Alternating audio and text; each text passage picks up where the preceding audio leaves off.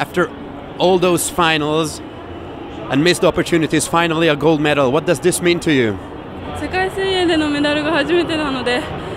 まあ、あのどうしても取りあのメダルを取りたいというのはあったんですけどそれが金メダルっていうのはもう何より本当に嬉しいです How do you remember the race? Was this your strategy?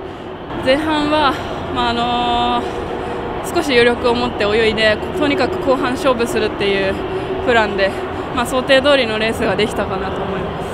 We know that there were a couple of swimmers missing in this final, like Mireia Belmonte, like uh, the Chinese girls, uh, like Katinka Hosu. What does this mean for you in Rio?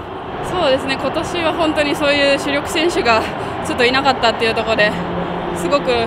チャンスだったと思うんですけど来年は確実にもっとレベルも上がると思うのでそれなりの準備をしないといけないなと思います。